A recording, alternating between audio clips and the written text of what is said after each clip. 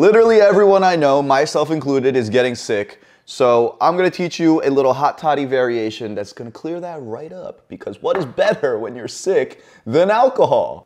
This is raw ginger and this is turmeric. They're cousins. We're gonna put them in a little pot. Cover it with water.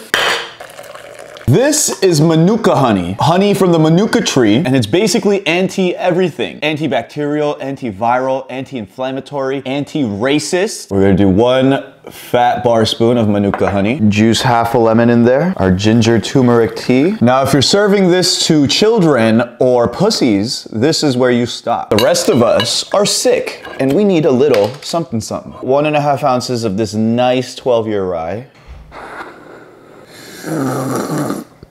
Oh, fucking feels so good. So if you or someone you know is sick and you want to do something nice for them, try this out because